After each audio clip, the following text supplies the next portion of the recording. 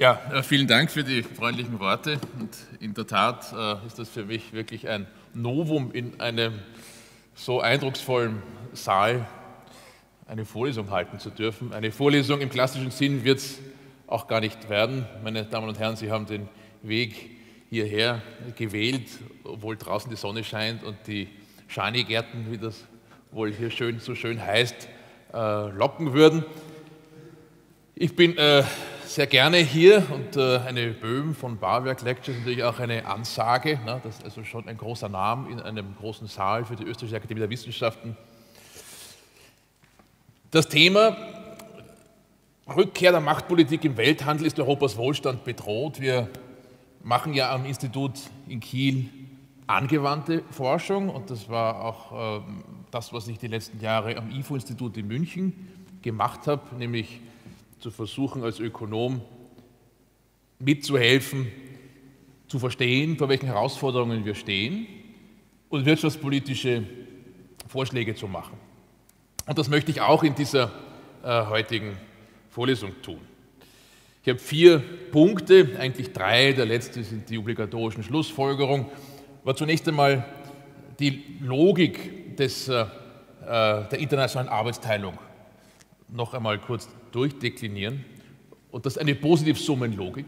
Und dann im zweiten Punkt etwas ansprechen, das in der klassischen liberalen ökonomischen Denke eigentlich nicht vorkommt oder nur sehr am Rande vorkommt, jedenfalls in der modernen Ausprägung, nämlich die Vorstellung, dass es auch um Macht geht.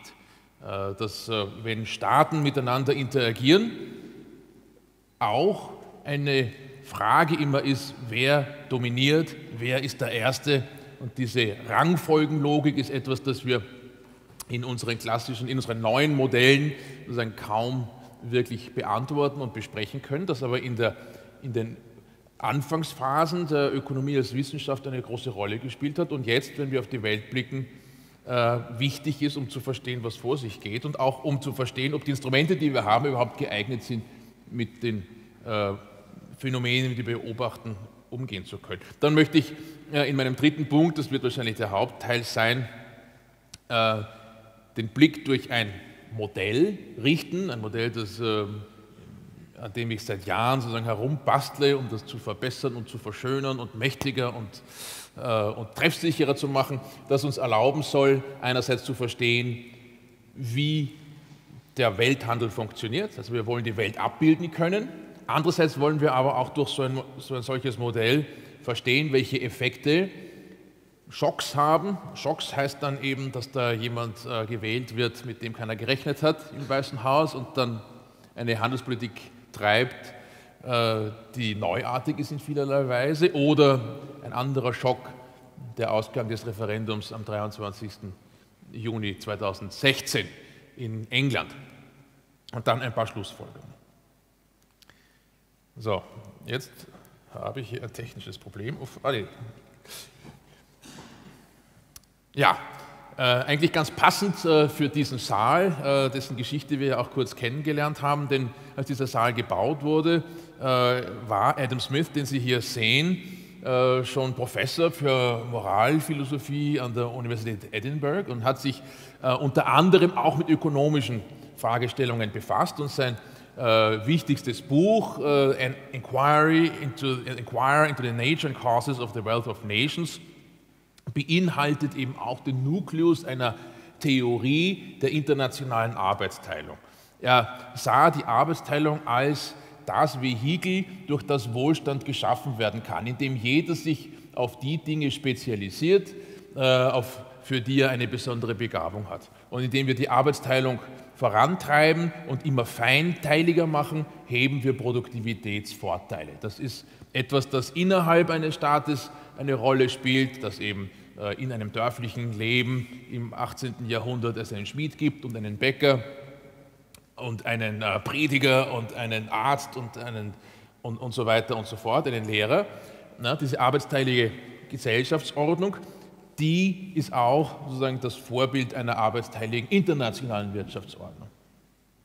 Aber was er auch in seinen Schriften immer deutlich macht, ist, dass äh, diese Arbeitsteilung nicht in einem luftleeren Raum stattfindet, nicht in einem politiklosen oder Institution, institutionslosen Raum stattfindet, sondern dass das eine Einordnung braucht. Und ein wichtiges Element, damit die internationale Arbeitsteilung funktionieren kann, ist politische Kooperation. Dass es Vertrauen gibt, dass wenn man sich einlässt auf die Arbeitsteilung, also etwas macht äh, oder etwas nicht mehr macht, das man bisher selber gemacht hat, um, äh, um dann ein Produkt aus dem Ausland zu beziehen, dass das nicht Anlass gibt zu opportunistischen Verhalten eines Handelspartners, der sagt, jetzt hast du verlernt, wie man Brot bäckt, ich kann es aber und ich kann dir, weil du von, von einem Brot abhängig bist, gewisse Dinge diktieren. Nicht? Die Arbeitsteilung macht immer auch abhängig und das ist etwas, das, glaube ich, in den letzten, ja, in der, Zeit jedenfalls vor äh, der großen Krise 2008-2009 im Denken der Ökonomen äh, häufig nicht wirklich eine Rolle gespielt hat. Dass Arbeitsteilung eben auch mit Abhängigkeitsverhältnissen einhergeht. Er hat aber auch äh, den Ausdruck des Beggar thy neighbor geprägt. Und Beggar thy neighbor Praktiken oder Politiken sind Maßnahmen, mit denen man versucht, sich im Inland besser zu stellen, indem man das Ausland ausbeutet. Und zwar nicht, indem man eine eine äh, Armee hinschickt, die Bodenschätze oder, oder Sklaven aus dem Ausland äh, heimbringt, sondern indem man äh, mit Zöllen zum Beispiel äh, versucht, Ressourcen zu transferieren, ökonomische Renten zu transferieren. 40 Jahre später hat dann äh, David Ricardo, auch einer der so Säulenheiligen der Nationalökonomie, der Volkswirtschaftslehre, äh, die ersten Formalisierungsversuche, damals noch sozusagen wirklich literarischer Art von Adam Smith versucht, in, in erste Protomodelle zu, äh, zu gießen. Ja, da gibt es schon kleine äh, Matrizen mit Zahlen, da kommt der Ökonom, der modern ausgebildete Ökonom sozusagen auf die Spur, äh, wo unser Handwerkszeug herkommt. Ricardo hat damit begonnen. Und er hat dann eben auch gezeigt, äh, dass Smith nicht nur recht hatte, sondern dass seine Theorie der Vorteilhaftigkeit internationaler Arbeitsteilung viel allgemeiner noch gilt als Smith sich das vorgestellt hat. Selbst ein Land, das eigentlich in all den Aktivitäten nicht besonders gut ist, hinterherhinkt seinen Handelspartnern, kann in der Arbeitsteilung äh, erfolgreich mitmachen und sich besser stellen im Vergleich zu einer Situation, wo diese Arbeitsteilung nicht zur Verfügung steht.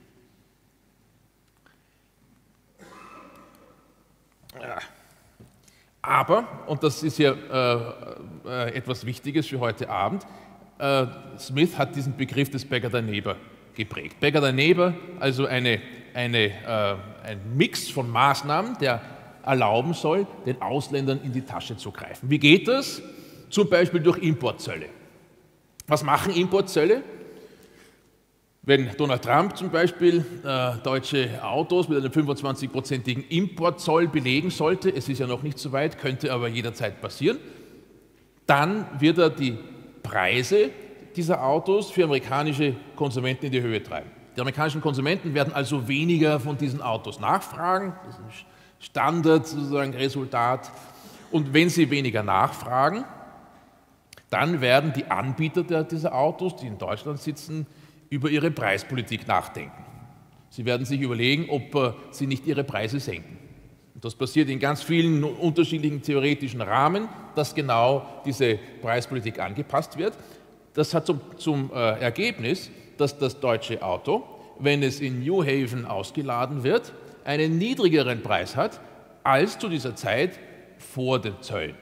Das Auto kommt also billiger zu einem geringeren Preis in die USA, dann kommt der amerikanische Zoll drauf und mit diesem Zoll wird es in aller Regel dem Konsumenten höhere äh, Preise abverlangen, als wenn es den Zoll nicht geben würde. Aber, und das ist wichtig, dieser Zoll wird eben auch mitbezahlt von den Ausländern, von den deutschen Autoherstellern, die ihre Preispolitik anpassen, damit sie in den USA nicht zu viel Marktanteil verlieren. Und wenn sie das tun, verbessern sich die sogenannten Terms of Trade für die Amerikaner oder die sogenannten das Austauschverhältnis. Man bekommt für die amerikanischen Exporte, für die Devisen, die man auf den Weltmärkten verdient, plötzlich mehr deutsche Autos, weil die deutschen Autos von den deutschen Autoherstellern in New Haven, wo sie in die USA zum ersten Mal äh, eintreffen oder eindringen, bekommt man mehr, weil der Preis gesunken ist. Gleichzeitig aber erzielt der amerikanische Finanzminister Zolleinnahmen.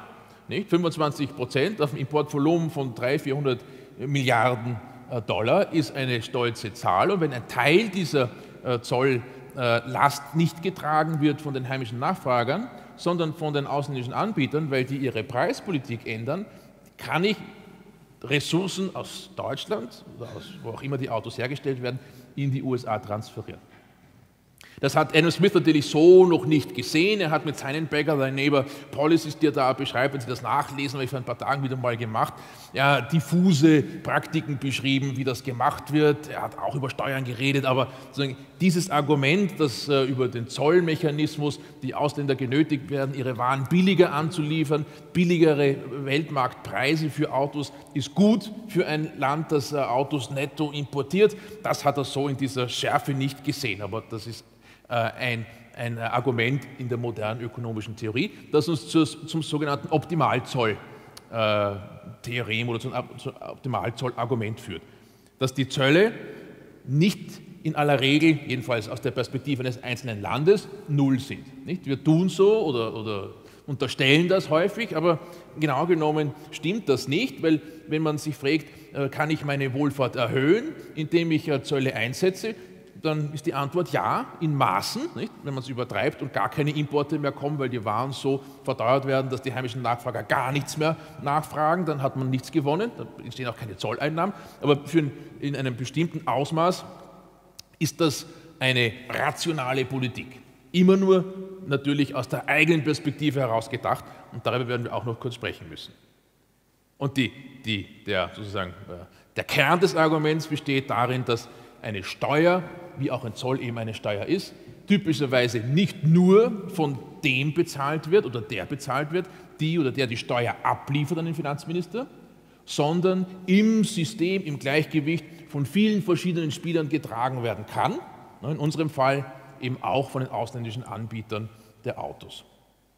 Und ein zweites Element gibt es bei den Importzöllen, das die moderne äh, Literatur mit einem Business-Stealing-Effekt beschreibt. Wenn ich Zollbarrieren aufbaue, dann werden sich die Autobauer überlegen, ob sie den amerikanischen Markt mit Exporten bedienen, wo eine Zusatzbesteuerung, eine diskriminierende Zusatzbesteuerung ihrer Autos erfolgt, nämlich eben um die genannten 25 Prozent, oder aber, ob die Autos nicht besser in den USA gebaut werden sollen, wo sie dann dieser Besteuerung durch den Zoll entgehen. Das ist die Logik, glaube ich, die äh, Donald Trump wahrscheinlich hat.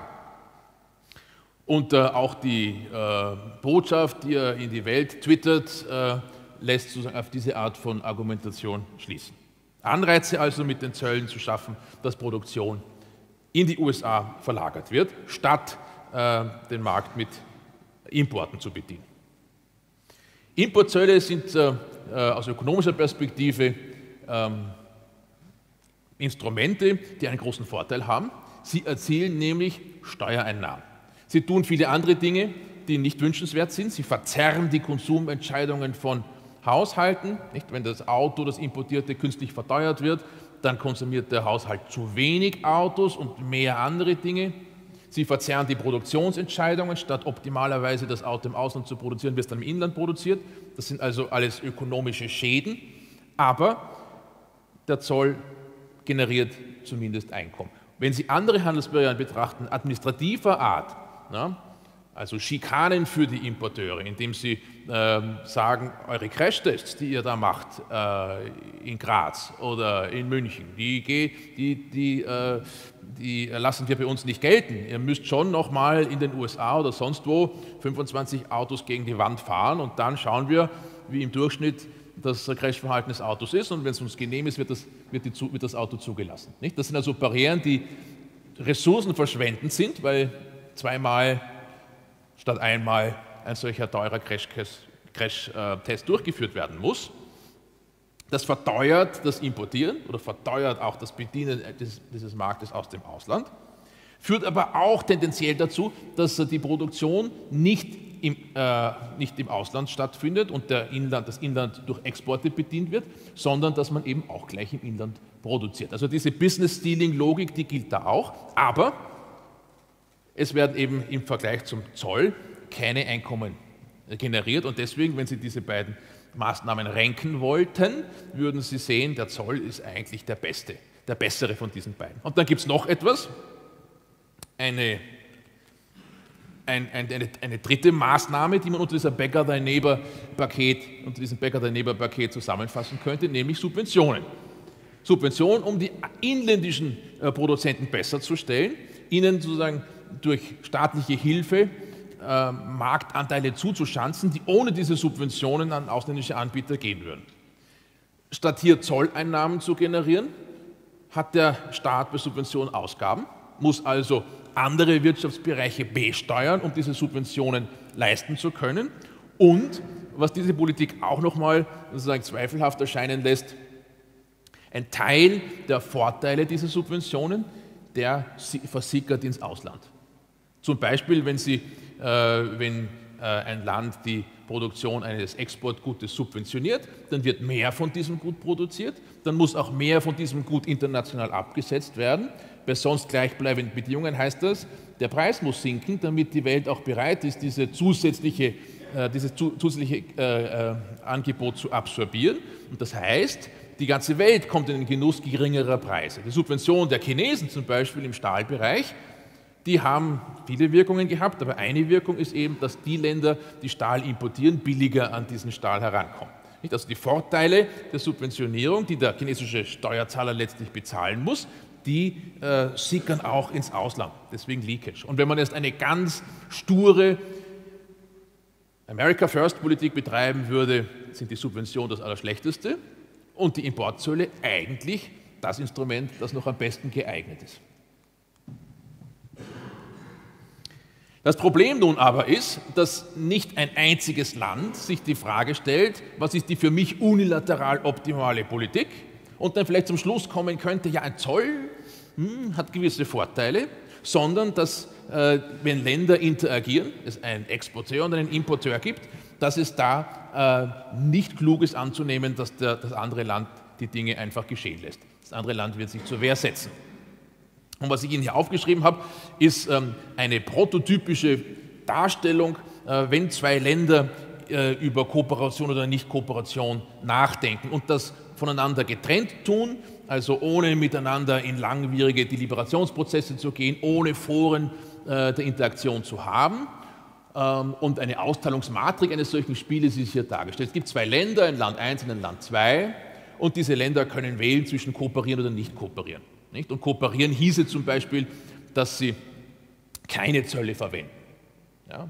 Aber so ein ähnliches Bild kann man, in, kann man auch über die Subventionen äh, aufschreiben äh, oder über die nicht tarifären Barrieren. Und wenn die beiden Länder kooperieren sollten, dann kommt es zu einem, äh, zu einem Mehrwert von 10 für beide Länder, also 10,10 ,10 heißt hier, das Land 1 und das Land 2 haben äh, einen Vorteil aus dieser Kooperation äh, von äh, jeweils zehn Einheiten, was das auch immer sein mag, zehn Milliarden Euro oder äh, Konsumeinheiten, wie auch immer Sie es messen wollen. Wenn keine Kooperation stattfinden sollte, also das hieße hier, beide Länder überziehen sich mit hohen Zöllen, dann kommt gar keine Transaktion zustande und es entsteht eben auch kein Vorteil. Wenn wir aber eine Mischung haben, ein Land kooperiert, hier das Land 2 und das andere Land kooperiert nicht, dann ist das Land, das nicht kooperiert, das eben durch diese Optimalzoll aus seiner Perspektive versucht, sich besser zu stellen, tatsächlich besser dran, statt 10, 12. Und das andere Land wird, ja, wie Smith das schon beschrieben hat, ausgeplündert. Ne? Beggar thy neighbor. Ohne die Armee zu schicken über äh, einen Zoll zum Beispiel. Und wenn man das umdreht, natürlich ist alles symmetrisch, die Länder sind hier, sind hier sozusagen komplett identisch, äh, dann taucht eben auch dasselbe Problem mit anderem Vorzeichen, anderen Größenordnungen für Land 2 auf. Das Problem ist nun, dass wenn Sie dieses, dieses Spiel durchdeklinieren und fragen, was ist denn die beste Antwort eines jeden Spielers auf die beste Antwort des jeweils anderen Spielers, dann kommen Sie zum Schluss, dass leider Gottes das Gleichgewicht, das besonders unschöne ist, Verzeihung hier, dieses, das sogenannte Nash-Gleichgewicht ist. Das ist das Gleichgewicht, das sich einstellen wird.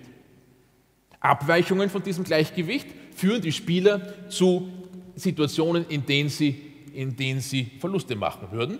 Es sei denn, sie können darauf vertrauen, dass der Gegenspieler auch kooperiert. Aber dieses Vertrauen ist in einem solchen Spiel, wie es hier dargestellt wird, das ist ein statisches Spiel, da gibt es keine Zukunft und keine Vergangenheit, das ist also eine Einmalangelegenheit.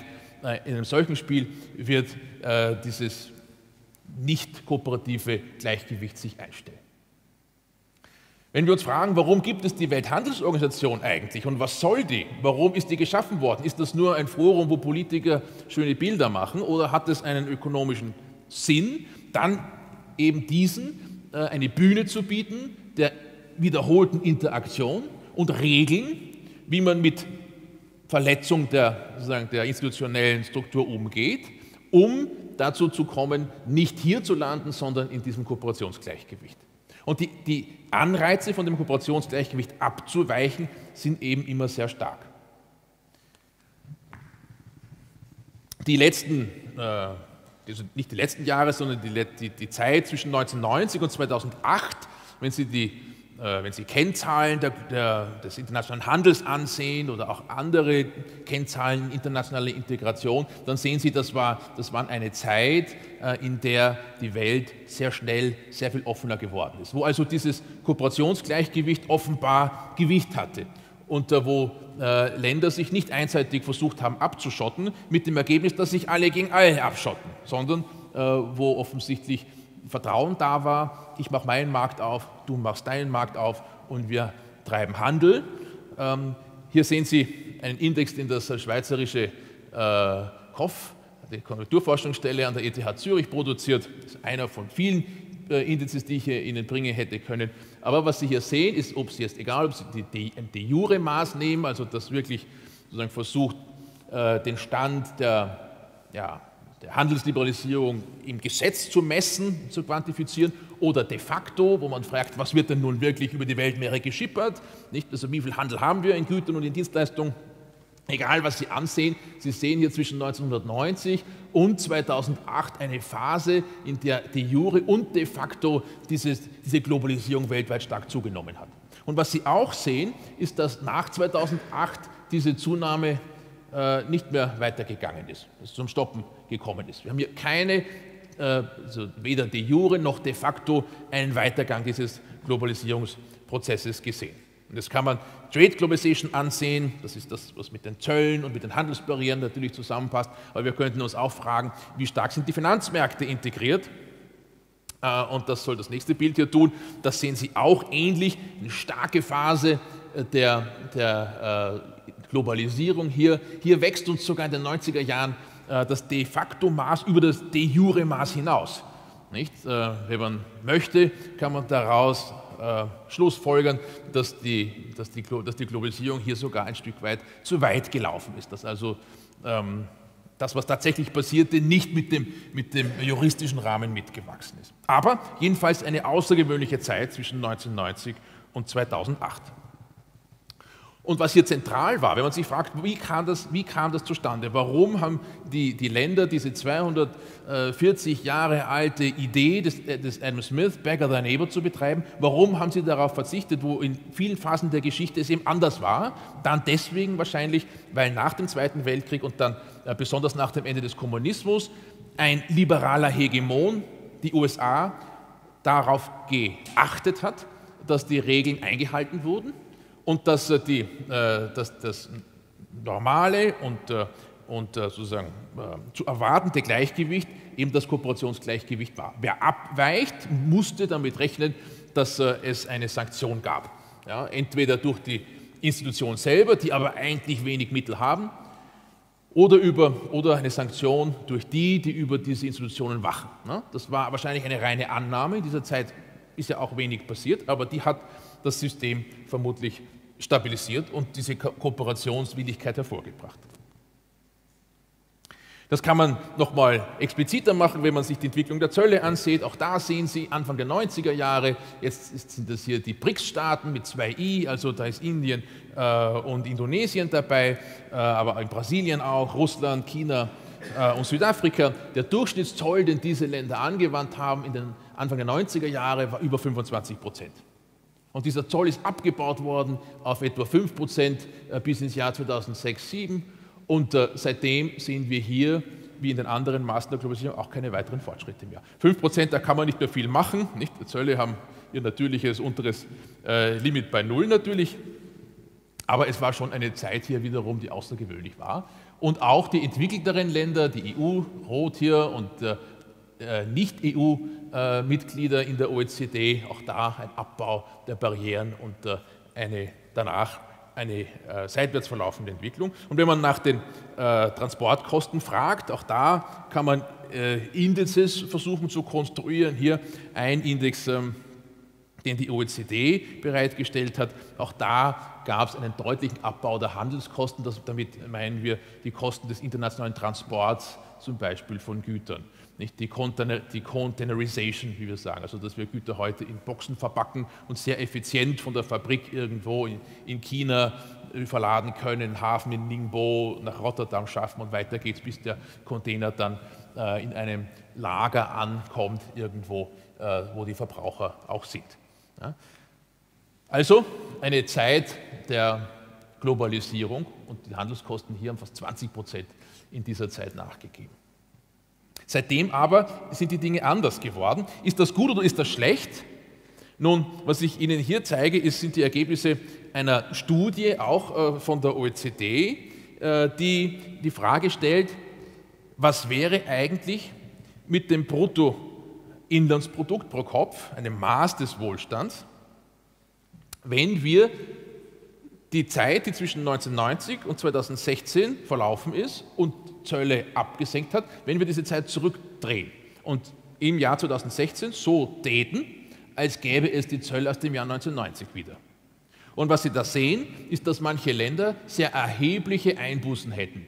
Äh, Indien hier, das sich sehr stark geöffnet hat, ja, sehr stark. Indien war in den frühen 90er Jahren de facto eine, eine geschlossene Volkswirtschaft, da hat man keinerlei Importe zugelassen das ist wahrscheinlich das größte und am wenigsten beachtete Erfolgsmodell der, dieser Zeit gewesen.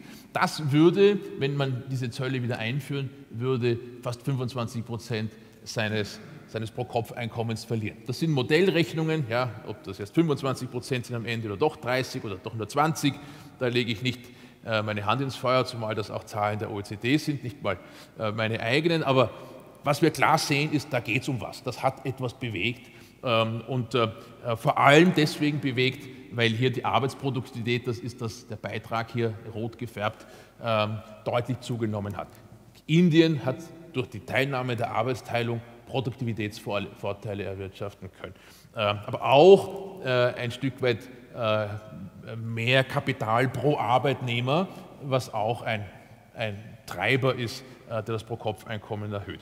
Und Sie können jetzt hier nach, nach rechts wandern. Hier haben wir China. 15 Prozent würden verloren gehen, wenn man äh, zurückgeht auf die Zeit von 1990. Für die USA wären es 6 Prozent, Deutschland ähm, äh, wenn das hier möchte, genau, äh, Deutschland in derselben Größenordnung in etwa. Und wenn Sie dann hier rechts schauen, ich habe Ihnen also aus einer großen Datenbank von vielen Ländern nur ein paar herausgezogen, die mir interessant schienen. Wenn Sie hier nach rechts laufen, Griechenland zum Beispiel, dann sehen Sie, für die Griechen wäre das keine große Tragödie, weil Griechenland paradoxerweise trotz der Abwesenheit von Zöllen und äh, hohen Handelskosten äh, wenig teilnimmt an der internationalen äh, Arbeitsteilung und wenn da neue Barrieren entstehen, äh, ist da auch der Verlust nicht so groß. Oder die Türkei, die schon teilnimmt an der internationalen Arbeitsteilung, aber nicht über den Handel. In der Türkei wird äh, sehr viel wird sehr viel lokal produziert und der Tourismus, der für die Türkei sehr wichtig ist, unterliegt keinerlei,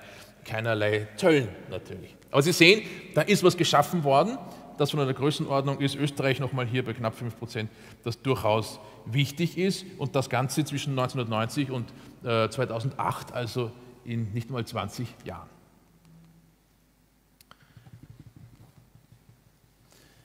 All diese schönen Dinge unterstellen, dass es Politiker gibt, die sich äh, in Genf bei der WTO treffen oder Freihandelsabkommen schließen mit Handelspartnern und die motiviert sind von der Sorge äh, für ihre Länder das Pro-Kopf-Einkommen zu erhöhen, so wie das im letzten Bild auch der Fall war. Aber was diese Vorstellungen nicht beinhalten, ist die Idee, dass es da auch um Macht gehen kann.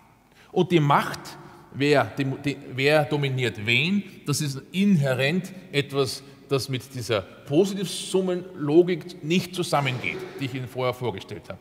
Na, in dieser Matrix, wenn Sie sich erinnern, wenn beide kooperieren, sind beide besser gestellt. Ja, das ist die Vorstellung da. Aber wenn es darum geht, der eine wie den anderen dominieren, dann kann es nur einen Gewinner geben. Dann sind wir in einer Nullsummenlogik. Und das ist der Unterschied, glaube ich, den man hier, den man hier herausarbeiten muss. Und übrigens ein Unterschied, äh, den Adam Smith damals schon gesehen hat, äh, vor 240 Jahren. Er hat nämlich in demselben Kapitel, wo er den äh, Lobpreis auf die internationale Arbeitsteilung gesungen hat, auch gesagt, Defense is of much more importance than opulence. Das steht auch da drin. Und er hat sogar in diesem Kapitel, Kapitel 2 im Buch 4, die damals von Großbritannien verhängten Maßnahmen gegen die Holländer, die nämlich mit ihren Schiffen die äh, Monopolstellung Großbritanniens im internationalen Seeverkehr angegriffen haben, verteidigt und hat gesagt, aus nationalen Sicherheitsgründen müssen wir zusehen, dass die Holländer keine große Schifffahrtsindustrie bekommen, denn dann könnten die uns abschneiden von den internationalen Handelswegen. Er hat also, obwohl er der große Champion des Freihandels ist und einer der Begründungsväter des liberalen ökonomischen Denkens in diesem Bereich, durchaus auch Argumente geliefert, die eine Beschränkung des Außenhandels zulassen. Und zwar über die Frage der nationalen Sicherheit. Weil latent in der damaligen Zeit natürlich, 1776, Zeit äh, des Siebenjährigen Krieges und anderer Auseinandersetzungen, der Verdacht da war, dass wenn man sich öffnet, äh, und sich in Abhängigkeit begibt eines anderen Landes. Also wenn, das, wenn, wenn, England seine Flotte nicht mehr gehabt hätte und die Holländer hätten die, hätten, äh, die britischen Märkte bedient, dass man sich dort in eine sicherheitspolitische Zwangslage bewegt. Nicht? Das hat Smith sehr deutlich gesehen. Aber die Positivsummenlogik, die wir in dieser Zeit zwischen 1990 und 2008 sehr stark überall hatten, in allen großen Institutionen, in unseren Lehrbüchern, in den Lehrsälen auch, ja, die hat diese, äh, diese Problematik der Sicherheit nicht und sie hat auch die Problematik äh, des Politischen nicht, dass Außenpolitik auch sozusagen mit dem Wunsch einhergehen kann, einen anderen, einen Rivalen international auf Distanz halten zu, zu wollen. Was es was ist dann, was vorkommt in unseren Modellen. Ich habe vor ein paar Jahren einen Aufsatz geschrieben über Trade Wars, ja, das ist fünf Jahre her. Ähm, und dort wird natürlich, wie das sozusagen typischerweise der Fall ist in unseren Arbeiten, unterstellt, dass es, äh, um, dass es in jedem Land, das da miteinander interagiert, äh, einen äh, gut meinenden Diktator gibt, der ein Wohlfahrtskriterium maximieren will. Und zwar den Absolutwert eines Wohlfahrtskriteriums. Der kümmert sich darum, was zum Beispiel der Pro-Kopf-Konsum von äh, Gütern oder von Freizeit in einem Land ist. Und je mehr, umso besser. Wir wollen viele Güter konsumieren und Dienstleistungen, wir wollen viel Freizeit haben, da können Sie noch beliebige andere gute Dinge hineinschreiben. Und was uns interessiert, das ist die liberale Grundannahme, ist der Absolutwert. Mehr Konsum zu haben, ist per se gut. Und wir kümmern uns gar nicht was irgendwo anders passiert. Nicht? Dass in einer solchen äh, Freihandelssituation vielleicht auch ein anderes Land seinen Pro-Kopf-Konsum von Gütern und Freizeit steigern kann. Das ist weder ein Ziel für uns, noch ist es etwas, worüber man sich Sorge machen muss. Wenn man entwicklungspolitisch motiviert ist, will man sagen, es ist ja gerade richtig, dass auch im Ausland Vorteile erzielt werden. Aber es ist nicht die Motivation äh, des heimischen, äh, gutmeinenden Diktators. Warum hat das das Denken so dominiert? Ja, weil wir seit dem Zweiten Weltkrieg eben diesen, diesen Rahmen hatten, die Pax Americana, die Garantie, dass jedenfalls in der westlichen Welt und innerhalb der westlichen Länder keine Ausbeutungssituationen zustande kommen. Dass wenn sich die Länder an die Regeln halten, nicht das eine Land das andere ausnutzt, äh, wenn es die Gelegenheit dazu hat, weil ein Land vielleicht ein Gut herstellt, das das andere dringend braucht und umgekehrt. Also dieses prinzipiell friedvolle Umfeld hat äh, zu dieser Annahme gepasst. Die Frage ist, ob das heute noch wirklich korrekt ist. Und in der Geschichte kann man auch, und deswegen auch das passt ganz gut in äh, diesen Saal und in, in, die Zeit, in der dieser Saal entstanden ist, das ist ein bisschen früher, äh, äh Jean-Baptiste Colbert, der also eine, Prototheorie, der, der, der, der Ökonomie entwickelt hat, im Hochbarock in Frankreich, der aber nicht diese liberale Grundannahme ja, äh, unterstellt hat, sondern etwas anderes. Da geht es nämlich wirklich knallhart um die Maximierung von Macht, um den Einfluss der Grande Nation. Und was da wichtig ist, ist nicht sozusagen das Pro-Kopf-Einkommen meiner, meiner Bürger, sondern es ist das relative Bruttoinlandsprodukt, und zwar relativ meines gegenüber zu den meiner Rivalen. Und wenn Frankreich schneller wächst, schneller sozusagen äh, die Kapazitäten entwickelt, eine Armee auszustatten als England oder als Österreich, dann ist das erstrebenswert und positiv, selbst wenn da Pro-Kopf-Einkommen äh, darunter leiden sollte.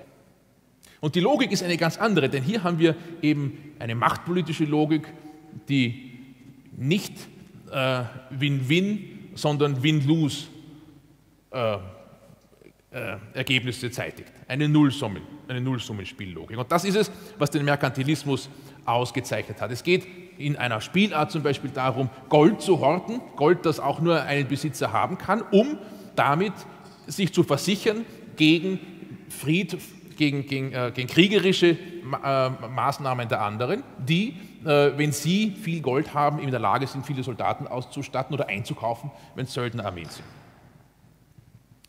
Und ein bisschen erinnert man sich heute, denke ich, wenn wir an die Rivalität zwischen USA und China denken, an diese Zeit von Colbert, wo es nicht wie 200 Jahre später darum ging, die Wohlfahrt in einem wohlverstandenen ökonomischen Sinn zu maximieren, sondern die Potenz äh, von Ländern.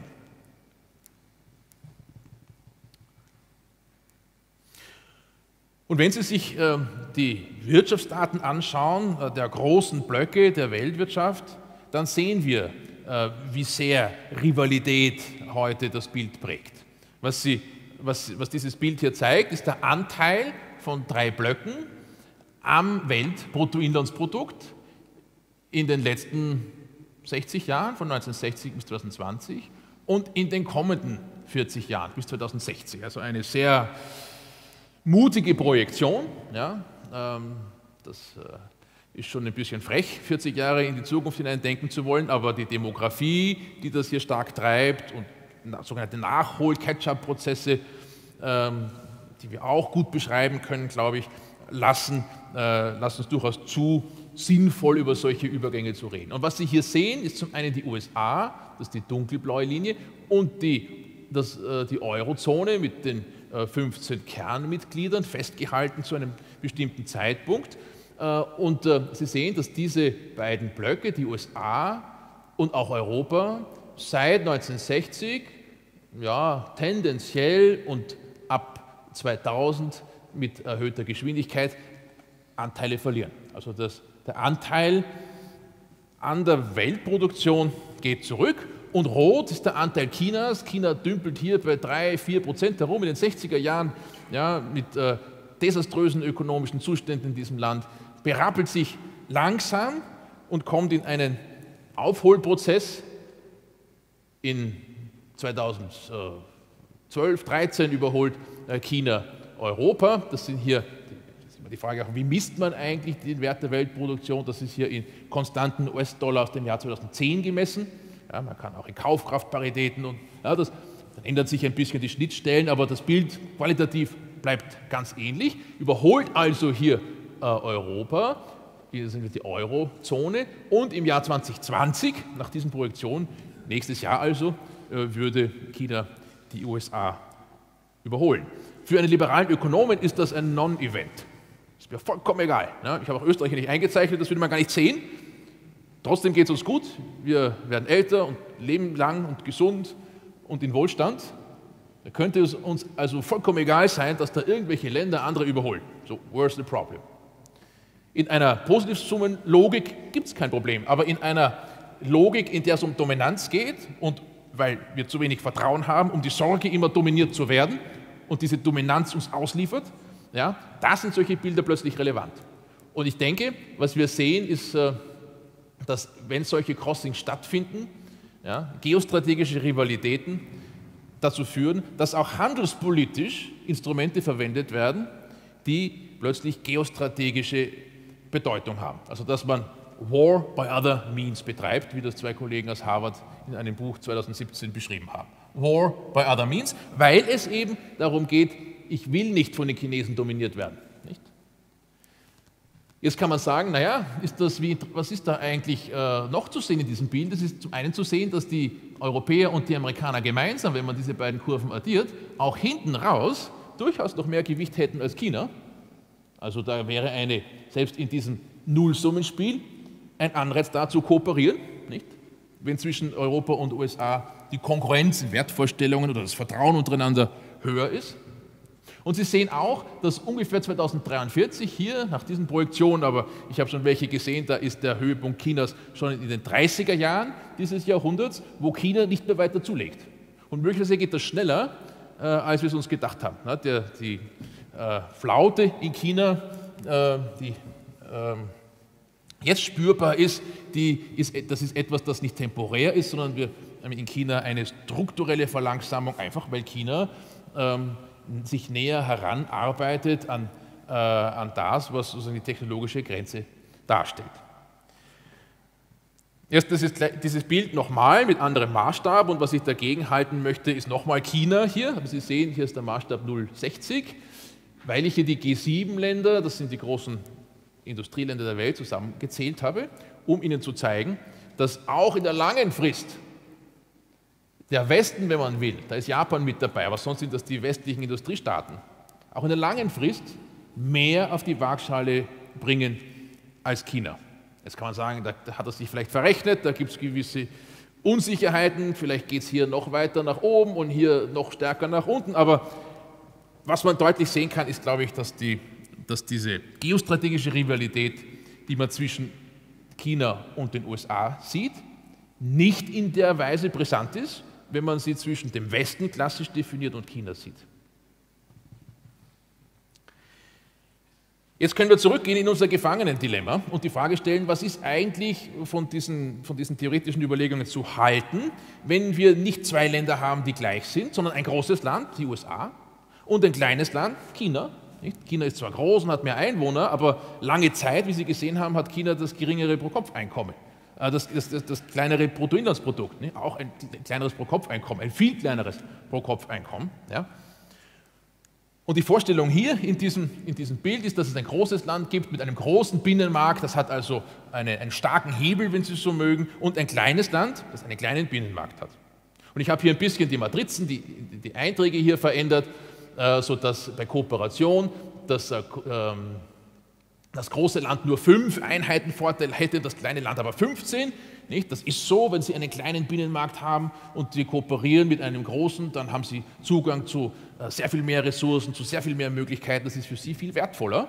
Also es gibt eine Asymmetrie hier in den Auszahlungen, die dazu führt, dass das kleine Land mehr aus Kooperation, ziehen kann als das große Land. Wenn die Kooperation nicht stattfindet, sind wir wieder da bei 0,0. Und auch hier gilt das, was sich in einem nicht kooperativen Zusammenhang einspielen wird, das Gleichgewicht, dieses hier sein wird, wo beide Länder nicht kooperieren. Aber der Punkt ist, dass in dieser asymmetrischen Situation das große Land auf weniger verzichten muss, nämlich auf die 5 als das kleine Land, das auf die 15 verzichten muss. Und wenn die Logik eine Nullsummenlogik ist, wenn es also darum geht, das kleine Land klein zu halten, den Abstand zwischen dem großen und dem kleinen Land möglichst lange hochzuhalten, dann greift dann greifen Mechanismen nicht mehr, wie die WTO-Mechanismen, die uns hierhin führen sollen, weil, äh, sorry, die uns in das Kooperationsgleichgewicht führen sollen, weil dieses Kooperationsgleichgewicht das kleine Land größer relativ zu dem großen Land macht. Also Kooperation führt hier dann dazu, dass China schneller diesen Punkt erreicht, wo es die Amerikaner übertrumpfen kann. Jetzt haben wir die WTO erfunden, 1995. Davor gab es den GATT, nicht? das äh, General Agreement on Tariffs and Trade. Und all diese Institutionen waren sozusagen angedacht, Kooperation herzustellen. Und waren ausgedacht hinter dieser Positiv, mit dieser Positivsummenlogik. Wenn jetzt aber diese Positivsummenlogik gar nicht mehr hält, weil es darum, weil plötzlich eine geostrategische Rivalität wieder da ist, die von 1990 bis 2008 nicht sichtbar war und vorher im Westen auch eindeutig geklärt war. Da gab es die USA und sonst nur kleine unwichtige Staaten, mit der Sowjetunion hat man sowieso nicht gehandelt. Ja? Wenn die Welt eine andere ist, dann sind all die schönen Mechanismen, die wir für die WTO eingeführt haben, die auf dieser Positivsummenlogik beruhen, nicht mehr förderlich. Es gibt eine große Literatur, die Theory of the WTO, da haben sich Spieltheoretiker viel Gedanken gemacht. Einer meiner besten Doktoranden ist gerade in Stanford bei, bei einem dieser Kollegen. Ne? Und was sie feststellen, ist, dass die Protokolle, die man in der WTO, das Reziprozitätsprotokoll, äh, Reziprozitätsidee zum Beispiel, die man, da, die man hat, die dazu führt, dass wir zu, äh, zu Kooperation kommen, dass diese Logiken nicht mehr halten, wenn sozusagen das übergeordnete Denken nicht mehr ein Positivsummendenken ist, sondern ein Nullsummendenken.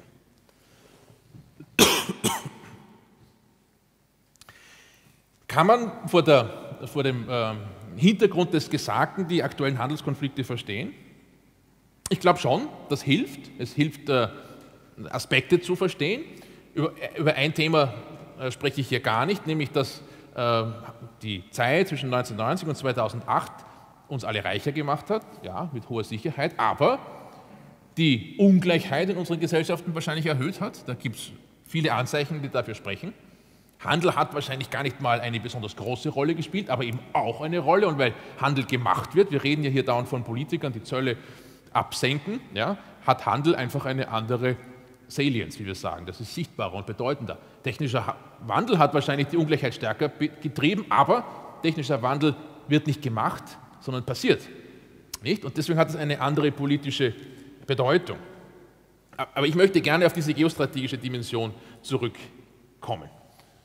Was Sie hier sehen, leider nicht ganz äh, ohne Darstellungsfehler leider, was Sie hier sehen, ist die Leistungsbilanz der USA.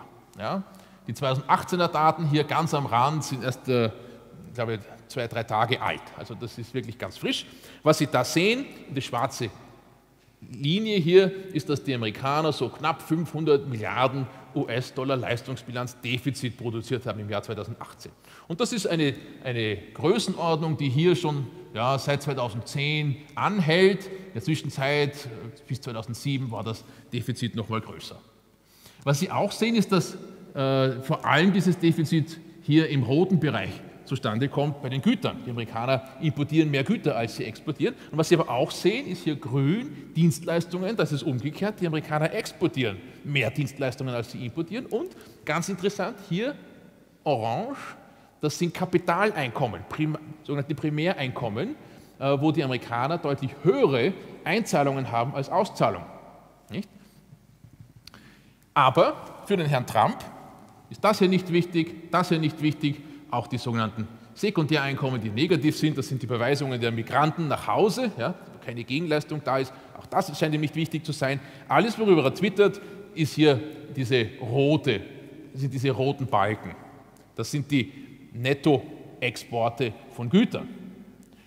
Und die Logik, die hier äh, angewandt wird, ist die, dass äh, die Tatsache, dass die USA viele physische Güter nicht selber herstellt, sondern aus dem Ausland bezieht, die USA irgendwie schwach macht. Der liberale, neoklassische Ökonom kann das nicht verstehen, aber für einen Machtpolitiker ist das ziemlich klar, was da vor sich geht, wenn die USA das Stahl importieren muss, mit dem Flugzeugträger gebaut werden, dann hat das auch sicherheitspolitische Implikationen. So kann man sich das jedenfalls vorstellen. Und wenn ich nicht darauf vertrauen kann, dass ich diesen Stahl jederzeit zu fairen Konditionen auf den Weltmärkten bekomme, muss ich diesen Stahl selber produzieren. Ja?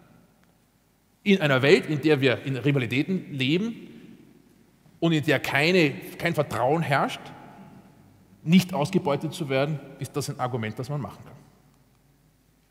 Und äh, die Frage dann, wenn ich ein so ein großer Nettoimporteur bin von Gütern, was kann ich tun? Der US-Präsident sagt, When a country is losing many billions of dollars on trade with virtually every country it does business with, trade wars are good and easy to win, sagt er. Handelskriege leicht zu gewinnen. Auch das, der liberale Ökonom schüttelt sich und denkt sich, der spinnt ja. Das ist nicht vorgesehen in unseren Lehrbüchern. Das ist in der Tat nicht vorgesehen. Aber es geht möglicherweise gar nicht darum, das zu tun, was wir in den Lehrbüchern unterstellen, dass Politiker tun, nämlich das Pro-Kopf-Einkommen zu maximieren. Das ist wahrscheinlich gar nicht sein Ziel.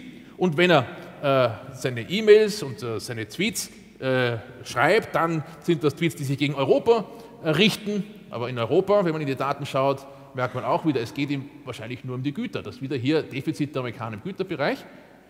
Die Amerikaner erwirtschaften aber so viel Einkommen bei uns, ja, dass insgesamt die Leistungsbilanz der Amerikaner sogar positiv ist mit Europa. Das ist etwas, das, glaube ich, jetzt auch im Weißen Haus bekannt ist mittlerweile, aber nicht sozusagen äh, in den Tweets des Präsidenten. Für den ist Stahl und äh, Aluminium das Entscheidende.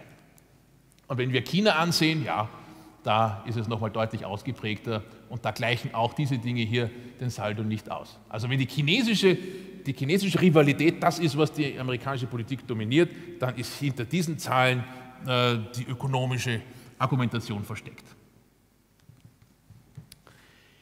Seit 2009 hat sich über die Zeit, über die Jahre ein Protektionismus ähm, äh, breit gemacht, äh, der nicht in den Zolldaten abzulesen ist, die habe ich Ihnen ja gezeigt, auch nicht in den Transportkosten, Transport ist eher billiger geworden, die Logistikketten sind effizienter geworden, sondern sich in vielen unterschiedlichen kleinen Schritten ereignet hat. Und was diese Grafik hier tut, ist, sie zählt äh, äh, protektionistische und auch liberalisierende Maßnahmen in der ganzen Welt, oft im Kleingedruckten von irgendwelchen Gesetzen. Zum Beispiel in der Genehmigung einer Pipeline in den USA, wo und in Neben, Nebenbedingungen gesagt wird, für die Genehmigung muss bitte aber amerikanisches äh, Stahl eingesetzt werden. Nicht? Wenn Sie das addieren, das machen Kollegen in St. Gallen, dann kommen Sie hier seit 2009, wo wir 2008 wo wir mit null starten, für das Jahr 2018 bei etwa 13.500 solcher Maßnahmen raus. Hier tut man etwas, habe ich getan, was man gar nicht tun sollte als Ökonom, nämlich Äpfel und Birnen und Bananen und ja, sonstige Gewächse miteinander zu addieren. Ja. Da kann man auch sehr viel subtiler vorgehen, aber der, das Bild ist schon so, dass es einen dramatischen Aufbau gegeben hat seit der Weltwirtschaftskrise an solchen Maßnahmen, die wir gerne als murky Protectionism bezeichnen, also als schmutzigen Protektionismus, weil ein Zollsatz, ja, die Zölle sind nicht wirklich gestiegen, es sind andere Maßnahmen. Welche Maßnahmen sind das? Neben den Zöllen, die es natürlich weiterhin gibt, äh, sind das Dinge wie Subventionen, hier Exportanreize aller Art, ja, auch Zollmaßnahmen, ähm, aber auch sogenannte Handelsschutzinstrumente, Maßnahmen der öffentlichen Beschaffung, wo man Ausländer nicht zulassen will äh, und viele andere Dinge auch. Also es sind durchaus neben den Zöllen die Dinge, die Adam Smith äh, als Beggar thy Neighbor begriffen hat und die ich Ihnen vorher in meiner kleinen Taxonomie aufgeführt habe. Nicht tarifäre Barrieren, sondern im bürokratischen Bereich und eben auch Subventionen. So hat sich die Welt also in den letzten Jahren protektionistischer gemacht. Und wenn wir jetzt äh, Adam Smith wieder äh, in Erinnerung rufen, ja, gut, Adam Smith mit Donald Trump auf ein Bild zu packen, das wäre dann zu, das wäre schon fast obszön, das kann man nicht machen, aber äh, es ist schon ganz nahe dran, nicht? Wenn Smith sagt, Defense more important than opulence, und Sie lesen, die zwölfte, lesen die zwölfte Änderung der deutschen Außenwirtschaftsverordnung, wo man sagt, wir müssen versuchen, die Chinesen äh, rauszuhalten aus unseren 5G-Netzen und solche Dinge. Das steht da im Gesetz natürlich nicht drin, aber es werden Maßnahmen, ähm, wurden Maßnahmen beschlossen im Winter letzten Jahres, die genau das zum Ziel haben. Oder wenn Sie die äh, europäische Investitionsscreening-Direktive ansehen, oder dann natürlich die Trumpschen äh, Zölle auf Stahl und Aluminium. Die sind also äh, aus diesem Sicherheitsdenken heraus motiviert und der äh, das internationale Recht erlaubt das auch. Artikel 21 äh, im GATT sagt, wenn ein Land in seiner nationalen Sicherheit bedroht ist, dann kann es natürlich äh, Zölle einheben und ist nicht gebunden durch die Verpflichtungen in diesen Gesetzen. Das hat aber die WTO, eine kleine, wirklich kleine, aber sehr feine, bisher sehr effiziente Institution in Genf, ziemlich in ihrem Fundament erschüttert. Denn die Logik, auf der sozusagen die WTO gebaut ist, ist diese Positivsummenlogik. Und ist die Logik, dass da ein Hegemon ist, der die, Regeln, der die, der die Einhaltung der Regeln sicherstellt. Wenn das nicht mehr der Fall ist und der Hegemon selber sagt, ich fühle mich in meiner nationalen Sicherheit bedroht, was für ein Hegemon ja eine Ansage ist, nicht? das widerspricht sich ja eigentlich, dann kann er kein Hegemon mehr sein, wenn er sich fürchten muss. Wenn der Hegemon aber, der sozusagen die Logik dieses, äh, dieses, äh, dieser Institution begründet hat, davon geht, sich davon macht, dann fällt für, die, für dieses Welthandelssystem die fundamentale Existenzberechtigung weg oder die fundamentale, äh, äh, der fundamentale Boden, auf, den, auf dem das äh, Gebäude hier steht und das dazu führt, dass es funktionieren kann. Was machen wir äh, Handelsforscher? Wir äh, versuchen unterschiedlichste Szenarien, die jetzt da im Raum stehen, zu quantifizieren. Da gibt es Nachfrage aus der, aus der Politik, äh, aus den Verbänden, auch die Kollegen. Wir wollen einfach gerne wissen, welche Bedeutung das hat, was vor sich geht, quantitativ vor sich geht. Und was wir tun können, ist Theory with Numbers zu betreiben. Das, das kann man tun, indem man Elemente sozusagen klassischer Handelstheorie verwendet, die schon Ricardo gekannt hat äh, und sie verbindet mit neueren Vorstellungen, zum Beispiel der Produktdifferenzierung, dass Stahl nicht gleich Stahl, gleich Stahl ist. Ne? Wenn Sie die Föst besichtigen, die werden Ihnen sagen, da gibt es ganz viele verschiedene Stahlvarianten, die nicht perfekt miteinander austauschbar sind. Das kann man alles sozusagen umsetzen. Und Ideen von Paul Krugman, der vor zehn Jahren ungefähr Nobelpreis bekommen hat für diese Art von Modellierung. Und Sie können es verbinden mit etwas, das äh, hier äh, die Ökonomen von den Physikern klauen, nämlich die Vorstellung einer Gravitationsgleichung, dass Massen zwischen zwei Ländern und Distanzen zwischen zwei Ländern Volumina von Handel determinieren. Das ist ein, ein, ein Gesetz in der, in der, empirischen Handelsforschung, das wahnsinnig gut funktioniert. Es funktionieren wenige Gesetze in der Ökonomie gut, aber das funktioniert wirklich empirisch jedenfalls sehr schön und es äh, äh, gibt eine relativ äh, moderne Arbeit, auf die man aufbauen kann. Das haben wir auch gemacht in vielen Arbeiten, äh, um das hier zu erweitern noch für viele Länder, ja, weil die Welt hat nun mal nicht zwei Länder wie in meinen Matrizen, sondern ja, wie viele Länder hat die Welt? Wer weiß es? Ja, die 220 oder vielleicht doch nicht, nicht alle sind souverän. Zählen wir nun Monaco und Andorra mit? Ne? Also das ist, oder Puerto Rico, ist das ein Land? Egal. Ne? Also wir haben hier bis zu 140 Ländern, ganz viele Sektoren. Wir wissen, dass die Produktionsbeziehungen komplex sind. Wir, wir, verwenden nicht nur heimische Arbeit oder heimisches Kapital zur Produktion, sondern wir verwenden auch produzierte Güter, die teilweise importiert werden können. Wir brauchen also eine große internationale Input-Output-Matrix. Ja. Das ist alles ein bisschen, ein bisschen äh, Arbeit, aber man kann sich ähm, ein, so ein Weltmodell zurechtlegen und testen, wie funktioniert das. Und es, testet, es funktioniert eigentlich ganz gut. Wir, wir können reproduzieren mit diesem Modell die Handelsflüsse, wie wir sie beobachten in der Welt. Ziemlich gut. Also mit, äh, hohen, äh, mit einem hohen Fit, wie wir sagen. Und auch die Out-of-Sample-Eigenschaften, die sind gut. Ich sage nicht sehr gut, das wäre eine Lüge, aber sie sind nicht schlecht. Ne? Also mit dieser Art von, von Theorie kann man dann versuchen herauszufinden, was passieren würde, wenn. Wir können also unsere kleinen Spielchen spielen. Was passiert, wenn Donald Trump Autozölle erhebt? Was passiert, wenn der Handelskonflikt zwischen China und USA eskaliert? Was passiert nicht nur für die beiden, sondern auch äh, für die Agrarwirtschaft in Simbabwe? Ne? Das so, kann man auch machen mit dieser Modellierung. Die Datenqualität natürlich in dem Fall ein großes Thema. Was wir schlecht machen können, ist die Unsicherheit zu modellieren. Und was wir immer unterstellen, ist, dass Handelsbarrieren, wenn sie eingeführt werden, auch bleiben. Jetzt weiß aber jeder, dass solche Zölle, wenn Trump sie einführt, vielleicht nur aus taktischen Gründen eingeführt werden. Na, für fünf Jahre, vielleicht nicht mal das. Er führt die Zölle ein, um sie wieder wegzuverhandeln. So. In dem Sinne ist alles, was jetzt kommt, Worst Case. Ja. Aber es ist sehr schwer. Wir können natürlich jetzt sagen, liebes Modell, wir führen mal die Zölle ein für ein halbes Jahr, dann tun wir sie wieder raus. Ne? Kann man auch alles machen. Da müsste man aber gute Annahmen haben, äh, wie, äh, wie dieser Pfad aussieht. Und man muss dann noch in der Lage sein zu interpretieren, was da passiert. Weil was da vorgeht, ist ziemlich komplex. Wenn Sie einen Zoll einführen zwischen Europa und den USA bei Autos, dann betreffen Sie einen Sektor von den 57 und ein Paar, nämlich die USA und Europa, in einem Setup, wo Sie ganz viele Sektoren haben und auch ganz viele Paare. Nicht? Wenn wir 140 Länder haben, dann haben Sie in etwa 140 Quadratpaare. Ja? Also eine sehr große Zahl und wir schocken gerade ein Sektor in einem Paar. Und der ganze andere Rest, der passt sich dann sozusagen an weil wir Preisverhältnisse verändern, Produktionsstrukturen sich verschieben und dann kann man eben auch messen, ja, was ein solcher Zolleffekt zwischen den USA und Europa in einem Sektor, nämlich bei den Autos, für, weiß ich nicht, den Mining-Sektor äh, in Brasilien bedeutet. Da finden wir Effekte. Ja, sehr kleine, aber doch. Das ist eine, bitte, eine Naja, die, das heißt, dass die, dass die Produktionsfunktion, ja, mit, mit der hier Arbeit und Kapital in Output umgewandelt wird, dass wir die hier nicht abhängig machen von den Zöllen. Nicht? Ja, kann man anders machen. Ähm, Gibt es auch Arbeiten dazu, haben wir am IFO ein bisschen gearbeitet dazu. Äh, das habe ich heute hier nicht mitgebracht. Auch die Beschäftigung halten wir konstant aus einem ähnlichen Grund, weil die, sozusagen, die Konsensmeinung eigentlich ist, dass die Handelspolitik äh, die Beschäftigung nicht verändert, ja, dass die durch andere Größe getrieben wird, durch die Arbeitsmarktinstitutionen, durch die makroökonomische Situation, Geldpolitik und Fiskalpolitik und nicht so sehr durch, durch die Zölle. Das sind empirische Ergebnisse, die die Modellierung hier beeinflussen.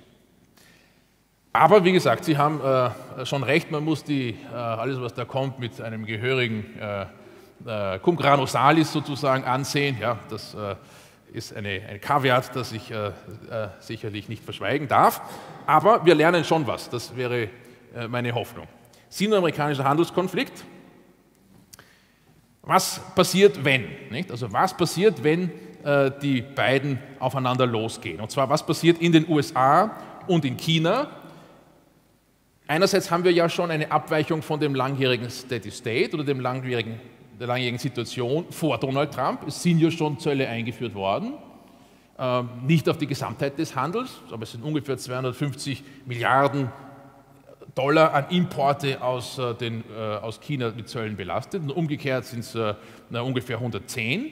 Nicht? Also da ist schon was passiert. Die Frage ist, was macht das? Nun, und wenn wir so ein Modell nehmen, so ein ricardianisches, modernes, mit Zahlen gefüttertes Modell nehmen, dann sehen wir, dass das für die USA einen kleinen Vorteil bringt. Na, hier haben wir pro, äh, hier haben wir äh, Milliarden sind das hier, US-Dollar, vier oder so, die hier an zusätzlichem Bruttoinlandsprodukt in den USA entstehen würden. Aus diesen Becker-thy-Neighbor-Überlegungen, die ich Ihnen vorher dargestellt habe. Das sind die Mechanismen, die im Hintergrund hier wirken. Also positiv. Aber China wird einen hohen Preis dafür zahlen und sehr viel mehr verlieren, als die USA gewinnen. Nicht? Also es ist ganz klare Nullsummenlogik. Logik. Einer verliert, einer gewinnt und der, der verliert, verliert hier mehr als der Gewinner. Was hier unterstellt ist, ist, dass nur die Amerikaner äh, dieses Spielchen spielen. Wenn die Chinesen sich wehren, dann sieht die Situation plötzlich ganz anders aus, dann haben wir nämlich Lose-Lose. Aber ein Lose-Lose wiederum, das asymmetrisch ist. China verliert mehr als die USA. Und wenn der Sinn der Übung dieses Handelskriegs nicht ist, das Pro-Kopf-Einkommen zu maximieren der, der Amerikaner, das scheitert hier natürlich, so, sobald die Chinesen dagegenhalten, sondern den Abstand mit China zu vergrößern, dann ist das erfolgreich. Also wenn Sie sich an den Tweet erinnern, easy to win, wenn wir wirklich an die, die, die Metapher ähm, des Handelskrieges ernst nehmen, des Krieges. In den Krieg zieht man und man muss Opfer bringen. Man zieht mit Soldaten hin und man kommt mit weniger Soldaten zurück. Man hat also was, es bleibt etwas auf dem Schlachtfeld. Ja, das ist diese Größe hier. Aber der Gegner wird stärker geschwächt und wenn das der Fall ist, kann man sagen, man hat den Krieg gewonnen. Das ist eine Logik, die den sozusagen, liberalen Ökonom nicht erfreut. Das ist auch eine, die wir nicht in unseren Lehrbüchern haben, aber die politisch möglicherweise die hier dominierende ist. Und wenn wir das Ding noch eskalieren lassen, also nicht nur einen Teil des Handels belasten mit diesen Zöllen, sondern äh, den gesamten Handel, dann kann die USA den Chinesen wirklich wehtun. Weil, wie Sie vorher gesehen haben, die USA sehr viel mehr importiert aus China, als es nach China exportiert. Das reduziert die Möglichkeiten der Chinesen dagegen zu halten. Nicht? Also wenn die Chinesen zurückschießen, was hier am rechten, äh, im rechten äh, bei den rechten Balken gezeigt ist, dann verlieren sie immer noch 30 Milliarden US-Dollar und die Amerikaner verlieren nur 10. Nicht ein Stratege, wenn wir hier nicht über Milliarden reden, sondern über Menschenleben oder über physische Infrastruktur, würde jemand sagen, diesen Krieg, den gewinne ich doch. Ich fürchte, das ist die, die Realität, in der wir in dieser sino-amerikanischen Auseinandersetzung gelandet sind. Interessant ist aber, was in der, in der EU passiert. Da sehen Sie, dass die Balken hier ins Positive hineinreichen, ganz egal, welches Szenario wir uns wir ansehen. Sie sehen aber auch, dass sie klein sind. 1,2 Milliarden, das sind keine großen Zahlen. Aber wenn sich zwei streiten, dann freut sich der Dritte. Das gilt nicht nur im Kindergarten, sondern es gilt hier auch wohl auf dieser Bühne. Warum das? Weil durch das Aussperren von Chinesen in den USA sinkt dort der Wettbewerbsdruck für europäische Anbieter und umgekehrt in China. Bestes Beispiel Huawei Huawei ist, ein, ist im Wettbewerb mit Nokia und Ericsson. Wenn Huawei aus dem amerikanischen Markt ausgesperrt wird, ist das für Nokia und Ericsson potenziell eine gute Sache. Unsicherheit, die in der politischen Diskussion eine große Rolle spielt, ist in diesen Analysen nicht da. Ja, können Sie auch sagen, wenn das der Haupttreiber ist, äh, der uns motiviert, dann fehlt gerade dieser hier. Ja. Aber etwas, das wir mit, mit dieser Art von Analyse nicht wirklich fassen können. Was auch interessant ist, wenn man sich fragt, was, was, was macht eigentlich dieser Handelskonflikt der Amerikaner und der Chinesen mit dem Industriesektor in Amerika, wenn das der Sektor ist, um den es eigentlich geht, weil dort die, äh, ja, die industrielle Kapazität auch die militärische Kapazität des Landes beeinflusst, dann sehen Sie das auch da. Egal wie die Amerikaner das, wie es ausgeht, ob unilateral oder echt eine, oder die Chinesen dagegen halten, der Industriesektor zulegt. Ja, das sind ja Prozentpunkte, also um 0,2 Prozentpunkte, das ist nicht viel, aber der Ausgangswert liegt ungefähr, ungefähr bei 0, äh, liegt ungefähr bei 10 Prozent, also haben wir dann 10,2 äh, Prozent. Also eine kleine, eine kleine Belebung.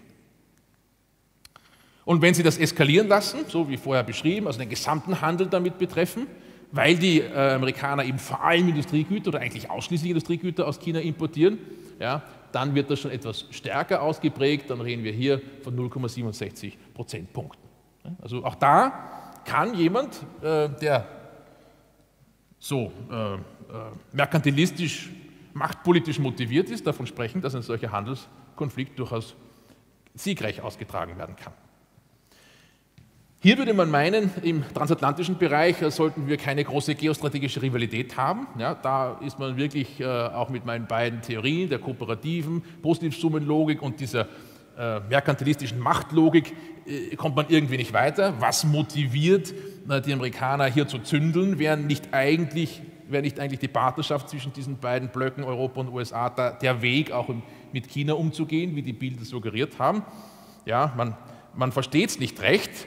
Äh, ich will aber nur kurz zeigen, was man erwarten kann, wenn es tatsächlich zu Autozöllen äh, kommen würde. Auch da kann man das Modell befragen. Hier sieht man wieder äh, leider Gottes, dass solche Zölle für Amerika durchaus positiv wären. Die sektorale Wertschöpfung im Automobilbereich könnte deutlich steigen. Die Amerikaner importieren ja 250 Milliarden Dollar ungefähr an Autos netto. Das ist also ein gewaltiger Importeur von Autos und Autoteilen. Die Wertschöpfung im Autosektor würde hier um 25 Milliarden zunehmen, wenn die äh, Amerikaner 25 Prozent Zölle erheben, zusätzlich zu den Zöllen, die sie schon haben. Aber das ist nur der Sektor. Dieser Sektor muss ja genährt werden. Irgendwo müssen die Ressourcen herkommen, müssen die Arbeiter herkommen und die, der Grund, wo die Fabriken stehen und so weiter und so fort. Das heißt, andere Sektoren müssen Feder lassen. Preise werden in die Höhe getrieben. Das reduziert äh, die Kaufkraft der Konsumenten und in das reale Bruttoinlandsprodukt gehen diese Dinge ein. Darum sehen Sie hier den kurzen blauen Balken. Das sind sozusagen, das ist das, was tatsächlich zusätzlich äh, transferiert werden kann aus dem Ausland durch solche Zölle in die USA. Das ist schon viel niedriger, das ist gerade mal ein Fünftel dieses sektoralen Effekts. Und was Sie auch sehen, ist, dass wir hier runterlaufen. Österreich ist hier, ist hier mitbeteiligt, äh, Deutschland mit fünf, Milliarden BIP Schaden und etwa 7 Milliarden bei der Wertschöpfung. Japan und Mexiko mit noch größeren äh, Wertschöpfungsverlusten. Das wäre also, nach, wenn man so ein Modell verwendet, die Größenordnung, die hier, die hier sich einstellen würde. Kann man fragen, was bedeutet das? 5 Milliarden, ja, was ist das schon für die deutsche Volkswirtschaft? Und das nächste Bild tut das. Da sehen Sie, für Deutschland wären das gerade 0,17 Prozent des BIP.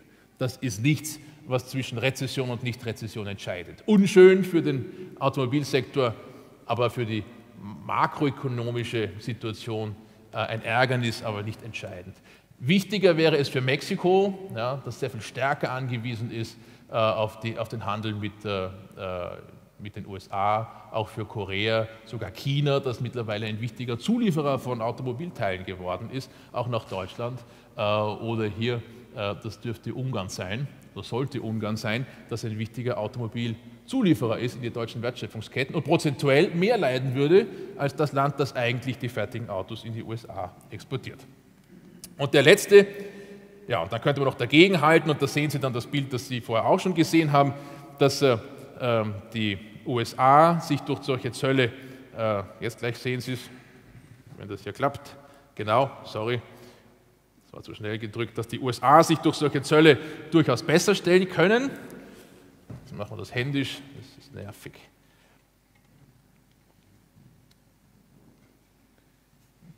Auch nicht besser, tut mir leid.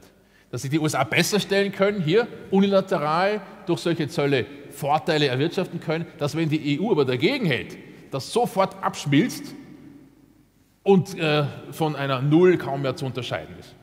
Das aber bei einer guten, bei einer klugen Wahl von Gegeninstrumenten, die durch dieselbe Bäcker daneben äh, Logik geprägt sind, die EU sich glattstellen könnte.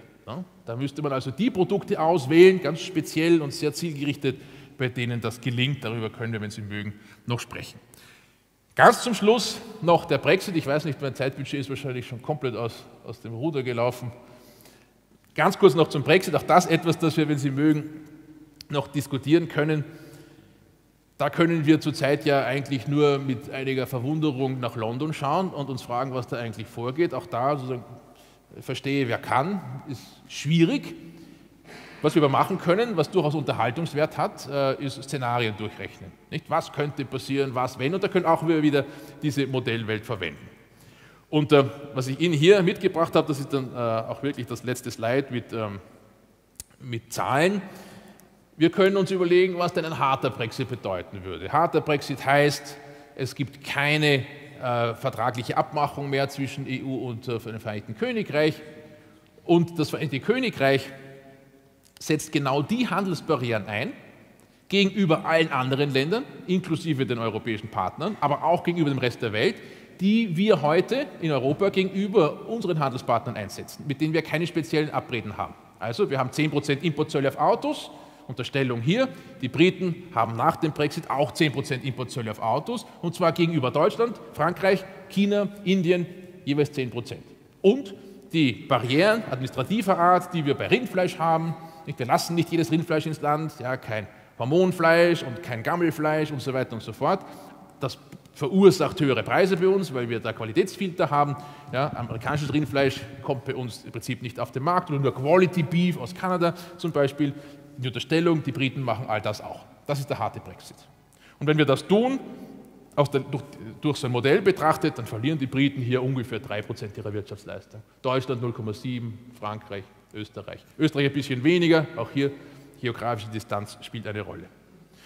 Sagen die Briten, so kommt das ja nicht. Wir werden nicht einfach äh, ausscheiden aus der EU, wir werden Verträge schließen mit den Commonwealth-Staaten, ja, vor allem mit den USA, aber auch mit Indien, mit den ehemaligen Kolonien, wenn Sie so mögen. Das könnt ihr machen. Das Modell sagt, das hilft nicht viel. Das reduziert oder halbiert sogar den Verlust, aber es es schafft daraus noch kein positives, keinen positiven Effekt. Warum nicht? Weil diese Handelspartner, über die wir hier reden, klein sind. Indien hat zwar 1,4 Milliarden Menschen, aber ein Bruttoinlandsprodukt, das nur äh, ja, das deutlich kleiner ist als das deutsche zum Beispiel. Nicht? Also Sie können nicht äh, die Europäische Union durch Indien ersetzen, dafür ist Indien zu arm.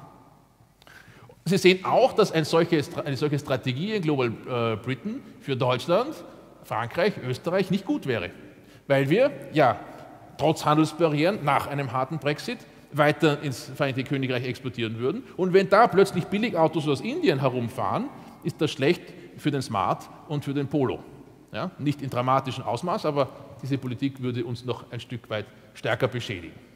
Dann könnte man etwas machen, das manche Kollegen als Canada Dry bezeichnen, also ein Freihandelsabkommen mit den Briten schließen, das der Struktur folgt äh, der Abkommen oder des Abkommens, das wir äh, seit äh, letztem Jahr in Kraft befindlich mit Kanada haben. Das kann man auch machen und Kanada zum Vorbild nehmen. Das wäre gerade für äh, die deutschen, französischen und für die österreichische Wirtschaft eine Erleichterung. Das werden wir sozusagen fast glattgestellt. Für die Briten verändert das die Größenordnung, aber ein Gewinn wird daraus schon gar nicht. Was die Briten aber auch machen könnten, und das ist mein letztes Szenario, ist, sie könnten sagen, warum soll ich eigentlich, wenn ich aus der äh, EU rausgefallen bin, die europäischen Außenzölle anwenden? Das wird immer unterstellt. Das haben alle gemacht. Wir haben das auch gemacht für viele Studien und die Kollegen aus vielen anderen Institutionen auch und der, äh, der, der Harald Oberhofer von der, von der WU auch. Wir unterstellen das alle. Aber warum eigentlich? Was wäre, wenn die Briten auf Zölle verzichten? Warum nicht?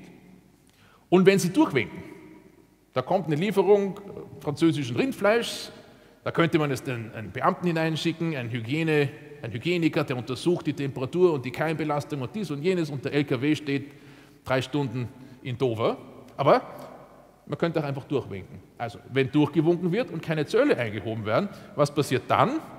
Dann verbessert sich die Situation für die Briten im Vergleich zum harten Brexit auf eine relativ geringe einen relativ geringen Schaden von 0,5.